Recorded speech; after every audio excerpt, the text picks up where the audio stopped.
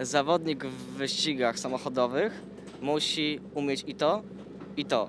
Ale najlepiej, żeby uciekał. I, to jest coś, czego ja nie mam za bardzo doświadczenia w tym, ale mam nadzieję, że po Austrii y, na pewno sam się poprawiłem y, psychicznie co do tego i będziemy gonić na jak najlepszy wynik.